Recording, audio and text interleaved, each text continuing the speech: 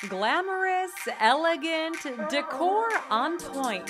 The experience this steakhouse provides is a fabulous one. Hi, I'm Sean Brasel, Executive Chef at Meat Market Tampa. Today I'm featuring white truffle Wagyu steak tartare, one of our favorite things to start with here at Meat Market. Next up, my all-time favorite, ceviche. It's an awesome appetizer to start with. Also the fact that it changes daily, the wonderful flavors that we combine using our Peruvian influences from Miami, as well as the local fruits that we can find. And one of my favorite appetizers, this is the roasted bone marrow, the short rib cherry marmalade, and a grilled sourdough. Oh, it's just the flavor combination.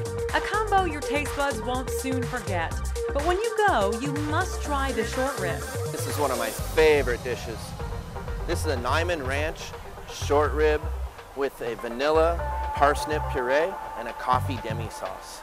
And the short rib is prepared a 60 hour sous vide. This actually takes one week to make. Chef Brasel doesn't mess around. His expertise, in addition to the restaurant's chic high energy, is a winning combo. So we have the crudo bar in the bar that seems to be always phenomenal and busy. Oysters shucked to order, fresh stone crabs, ceviche made daily. It's an overall experience, you know, and when you taste the sensory of the food, you're gonna touch all six senses.